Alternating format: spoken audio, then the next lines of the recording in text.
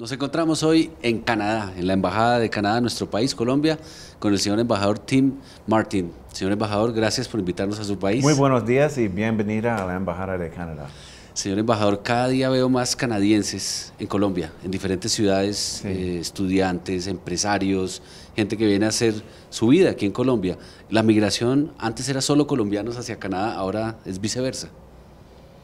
Bueno, uh, es la verdad y es una buena noticia. Yo diría que Canadá es el socio ideal para Colombia. Uh, Canadá tiene una situación económica que es muy positivo en uh, la actualidad y Canadá ha respondido al progreso importante que los colombianos han hecho en los últimos años. Cuando un canadiense va a traer su compañía o su empresa o viene con su familia, ¿cuáles son las principales preguntas que le hacen al gobierno de cómo es Colombia o por qué venir? Bueno, eso es uh, una muy buena pregunta. Yo diría que uh, las uh, preocupaciones son, son tres. Uno es la seguridad. Eh, eso es siempre relevante para una compañía sobre todo cuando uno habla de, uh, de uh, inversión de gran escala a largo plazo. Dos, uh, estabilidad de las políticas del, del gobierno en, digamos, los marcos financieros, fiscales y monetarios. Impuestos. tres, el sistema reglamentario y el desempeño de los mecanismos uh, y instituciones de reglamentación.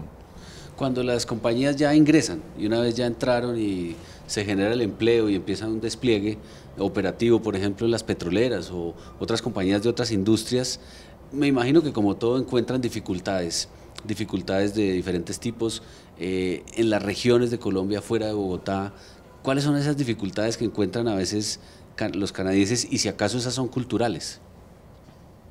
Bueno, yo no diría que hay problemas culturales. Ah, de hecho, los canadienses se sienten en casa en ah, Colombia y hay mucho interés en Canadá por, ah, por Colombia. El progreso que Colombia ha hecho nos fue evidente.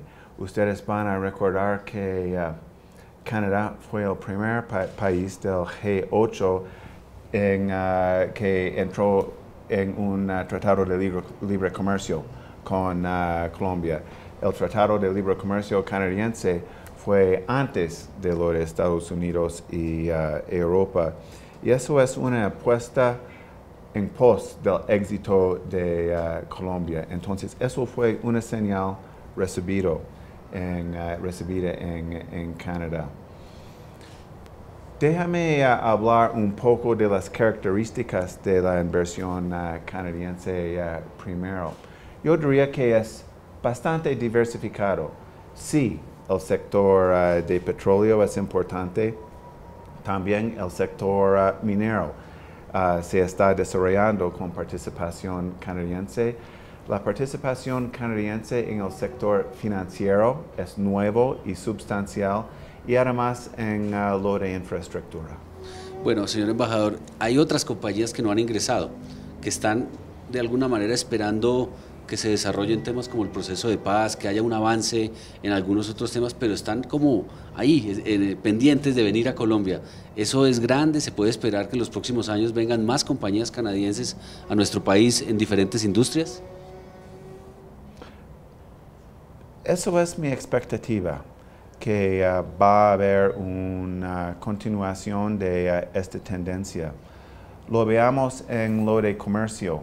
Uh, nuestro comercio bilateral es alrededor de 1,5 mil millones de dólares. Y vamos luego del Tratado de Libre Comercio un mejoramiento de la composición de nuestras exportaciones, por ejemplo, más productos de alto valor agregado como equipos para el sector minero energético que se están siguiendo ah, la inversión. además del trigo, que es muy famoso uh, desde Canadá.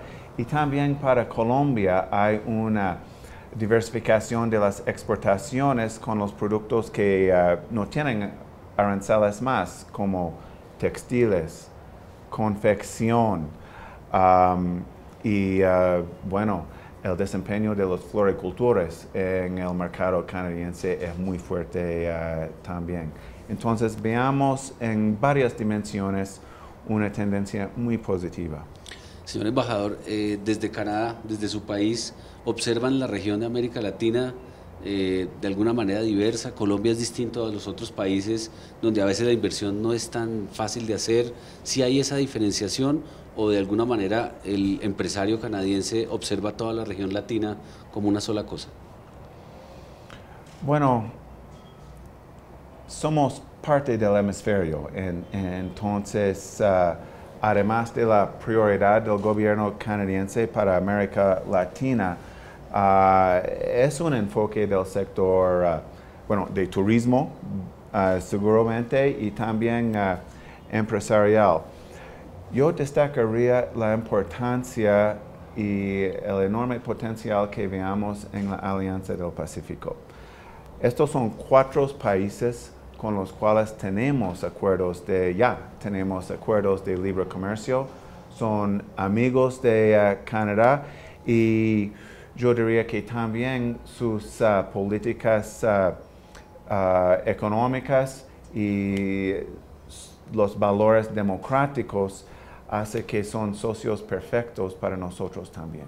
¿Ve usted entonces en esa Alianza del Pacífico como una especie de comienzo para que la región de América Latina empiece a volverse una potencia de alguna manera en el futuro, porque uno ve que Europa está en crisis, eh, de alguna manera ciertos países que antes fueron grandes ahora están eh, con la crisis económica y todo el mundo le habla a uno de América Latina, que es el futuro, que ahí va a haber un gran potencial de crecimiento. Ahí puede ser, en esa alianza del Pacífico, se puede empezar a gestar ese futuro. Creo que estos son los pioneros de una cierta manera y comparten una visión de apertura y las oportunidades que uh, nos ofrece el crecimiento en, uh, en, Asia. Esto es una visión que Canadá comparte y uh, estamos formalmente un observador en la Alianza del Pacífico y queremos ejercer este papel de observador con responsabilidad, energía y de una manera constructiva. Por último, la gente que nos está leyendo y viendo, de pronto no conoce Canadá, quisiera explorar de pronto algún tema turístico o de negocios. Deme tres o cuatro razones por las cuales la gente tiene que ir a Canadá. Bueno, hay muchas ah, razones.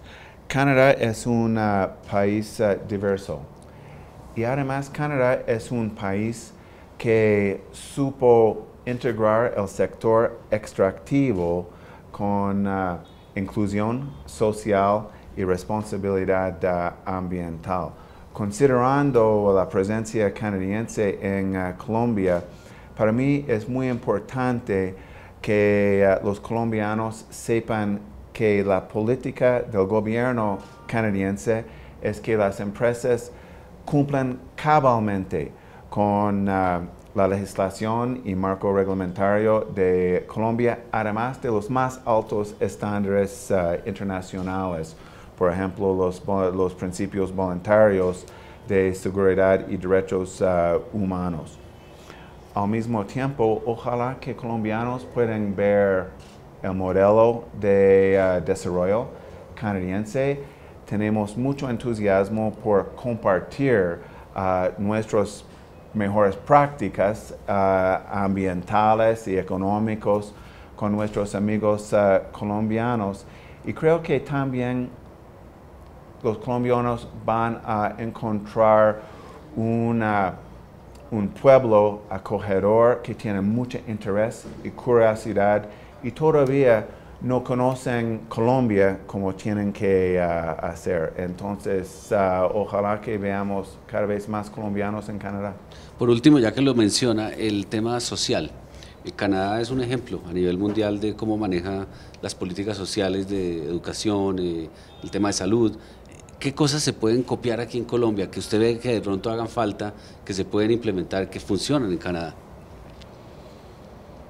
Bueno, Canadá no tiene el estilo de dar lecciones o críticas a, otros países, pero invitamos a, Colombia y otros amigos a entrar en diálogo.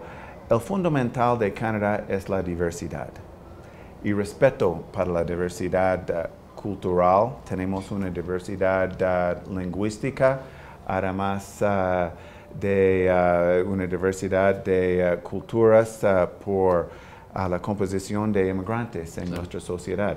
De hecho, hay una gran presencia latino en, en Canadá.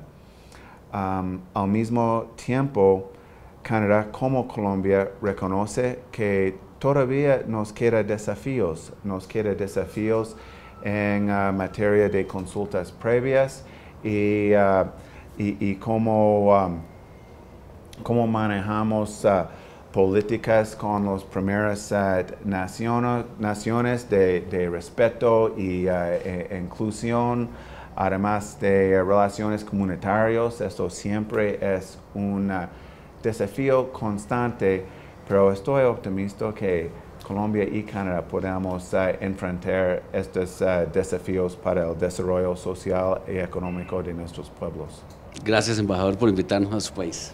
Gracias por venir.